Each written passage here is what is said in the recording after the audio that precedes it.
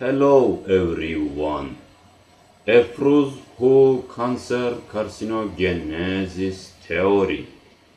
Cancer cell normal DNA sequence wants to die but unsuccessful completely because not enough energy equal unsuccessful self-suicide person to prevent other persons.